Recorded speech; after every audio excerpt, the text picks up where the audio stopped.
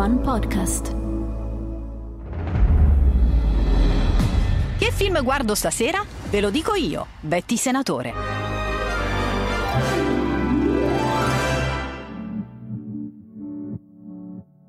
Bentornati! Il film di cui parliamo oggi è molto importante per ragioni diverse, ma soprattutto perché, al momento, risulta l'ultima apparizione cinematografica di Daniel Day-Lewis, il quale, dopo questo progetto, ha annunciato l'addio alle scene. Il film è Il filo nascosto. Ambientato nello scintillante mondo della moda degli anni 50, il film racconta la storia di un sarto molto ricercato, Raymond Woodcock, titolare di una casa di moda, che gestisce con profitto insieme alla sorella Cyril. La maison inglese è al centro della scena britannica. I capi di questo stilista di grido sono richiesti da tutti i notabili inglesi e non solo. L'uomo è dedito al lavoro e gestisce scrupolosamente ogni aspetto della sua vita con lo stesso approccio usato per gli abiti su misura. Non si concede troppo ai sentimenti, anzi, non lo fa proprio per niente. Pur amando la figura femminile che da sempre gli fornisce ispirazione, colleziona donne come fa con le stoffe degli abiti e non si affeziona a nessuna di queste.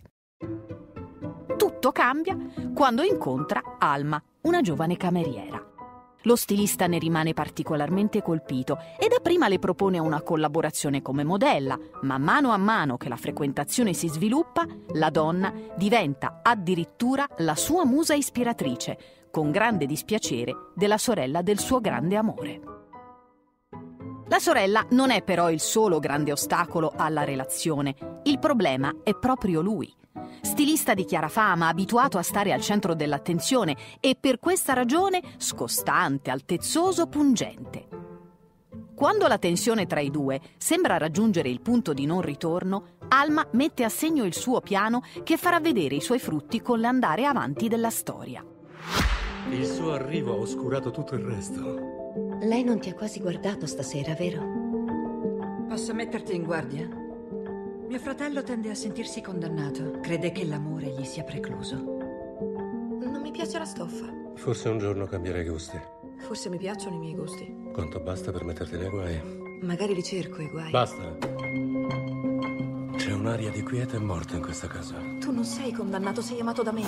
Smettila di fare questo gioco. Quale gioco? Qual è esattamente la natura del mio gioco? Tutte le tue regole, i tuoi vestiti, tutti questi soldi, è tutto è un gioco.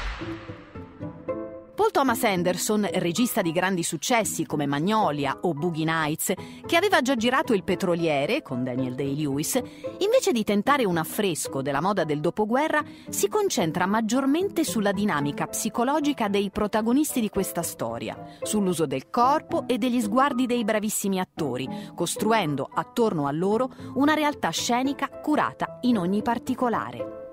Infatti, molti dei personaggi che appaiono nel film non sono attori professionisti, ma sarti o costumisti esperti che hanno prestato le loro abilità al servizio del racconto.